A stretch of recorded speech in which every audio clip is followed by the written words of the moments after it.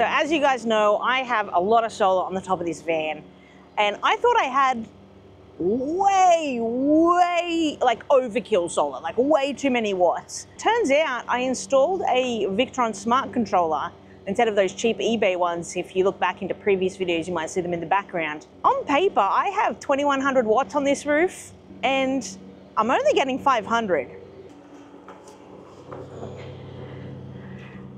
Then it clicked.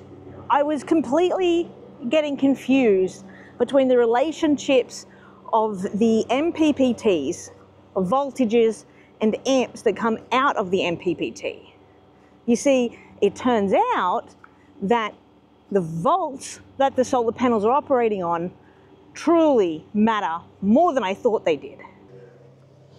Now, the confusion around solar panels, watts, amps, volts, I honestly wasn't even looking at volts. And the amps and the watts seemed very similar. And I was always pretty confused about this. So I just went with whatever is giving me the most amps. But it's not actually quite that simple.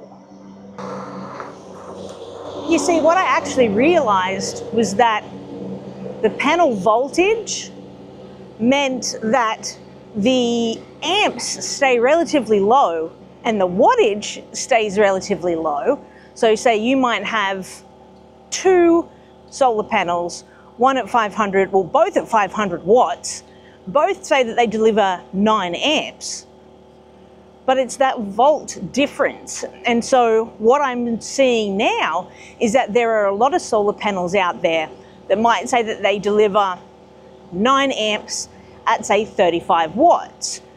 That actually can translate through your MPPT, which drops those 36 watts back down to 12 volts for your battery and delivers a higher ampage. Once I had a quick chat to the expert, ChatGPT, I really understood where I went wrong with my solar panels.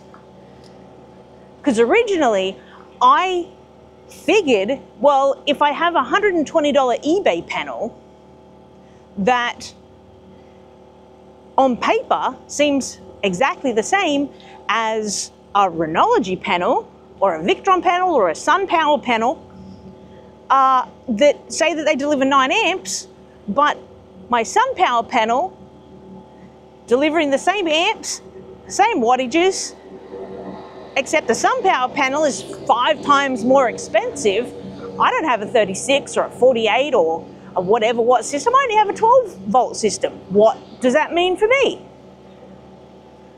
It means I'm dumb. That's what that means. not, not really, because I feel like potentially a lot of people get this confused.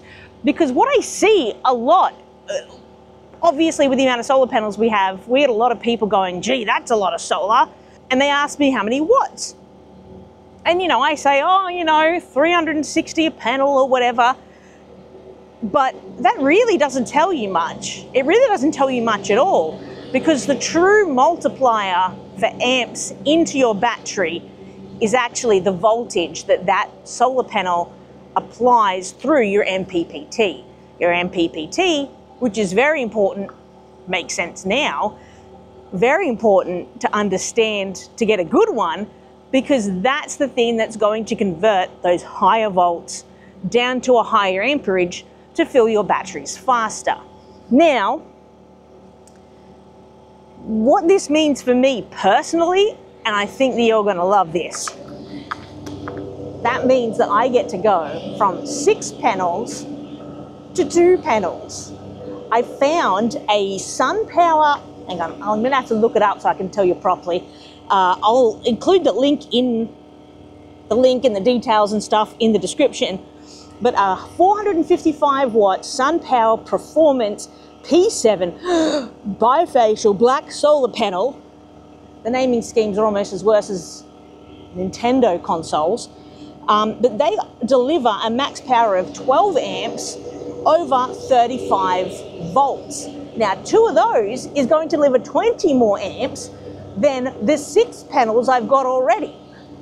Amazing. That means I get so much more roof space. All right, I figured I might as well read the the maths from ChatGPT that kind of has led me to this spot. Uh, the Victron MPPT will convert that power into a lower voltage and a higher current, which is your amps. Ideally, conserving most of the watts minus some small efficiency losses, usually around 95%. Now, taking the ideal conversion, amps at 12 volts equals 155 watts divided by 12 is 38 amps. After the MPPT efficiency, around about 95%, that 38 amps then turns into about 36 amps. So that's kind of how the voltages kind of affect the panel.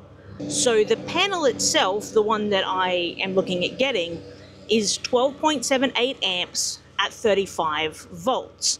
That gives us at about 456 watts. So now my system is not only going to be more powerful, I'm going to have more roof space. The system is going to be more optimized and give me more power, especially at midday. So you tell me, have you ever struggled with solar like this? It's taken me, what, like two years of van life full time? I'm not an electrician to learn the difference and the multiplier of volts into a solar panel and help me choose something that's efficient for me. Let me know if you've made any big mistakes with electrical setups or solar in your setup, or if you just got it all pre-done and you don't know a thing about electricity, that's fine. Uh, I've learned a lot from even just this little instance, let alone what I've learned about cabling and wiring. Oh, it's crazy. I, to be honest, I love learning all this stuff about electricity. I have a history in computers, so I love it. We're, of course, we're gonna film putting these panels on. It's gonna be a while yet because the two panels I want are about 750 Australian, and I don't have that money right now. so uh, stay tuned. We will be putting them on the roof eventually, and we do have some big plans for the other space that we're going to put on the roof. So if you like that, travel vlogs and food, especially van life tips and tricks, we are going to be ramping up to two videos a week. One that is more vlog style, and then the other that is a little bit more informative, still with the aesthetics of a blog. A blog? A vlog, you know what I mean.